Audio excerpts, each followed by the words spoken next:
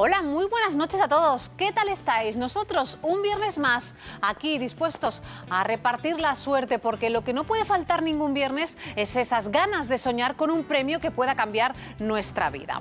Vamos a ver los sorteos de Bonoloto y de Euromillones. En el sorteo de Bonoloto, atención, estamos hablando de un bote estimado de 600.000 euros, mientras que en Euromillones podemos llevarnos un premio de 47 millones de euros. Ya sabéis que eso va a ser en unos minutos, pero antes vamos vamos a repasar lo que dio de sí la última jornada de Turf que se celebró en el hipódromo de San Sebastián de carreras nocturnas, el testigo del Turf lo tomará durante los próximos días el hipódromo de San Sebastián, en el que quedan por disputar dos jornadas, el domingo 7 y el viernes 12 de septiembre.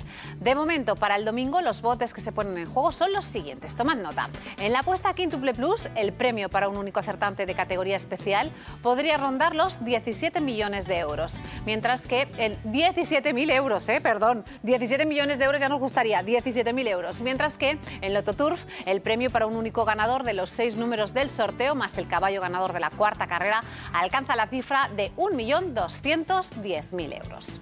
Y hay otra carrera que también está llamando muchísimo nuestra atención durante estos días. Nos referimos, por supuesto, a la Vuelta Ciclista a España, de la que Loterías de Apuestas del Estado es uno de los patrocinadores principales. Y no dejamos de hablar de deporte porque si mañana sábado la etapa de la Vuelta Ciclista sale de Santander, esa ciudad va a ser a partir del lunes, 8 de septiembre, la capital mundial de la vela. Y es que desde el lunes hasta el domingo 21 de septiembre, la Bahía de Santander va a acoger los campeonatos del mundo de vela, clasificatorios para los Juegos Olímpicos de Río de Janeiro en 2016. 12 minutos pasan de las 10 de la noche, una hora menos en Canarias. Todavía tenemos unos minutos para repasar las oportunidades que pone a nuestro alcance Loterías y Apuestas del Estado. Sin duda, la más importante es la que nos ofrece mañana mismo la Lotería Nacional con el sorteo especial del turista, que reparte 84 millones de euros en premios, con un premio especial a un solo décimo de 5 millones de euros. También hay que tomar muy buena nota del premio que ofrece la primitiva, porque un único acertante de primera categoría con categoría especial podría llevarse un premio de 17 17.500.000 euros. En este caso sí que son 17.500.000 euros. Y recuerda que cuando sigues tu apuesta de la primitiva, no te olvides de marcar la casilla para jugar al Joker, porque por tan solo un euro más puedes llevarte un premio de hasta un millón de euros.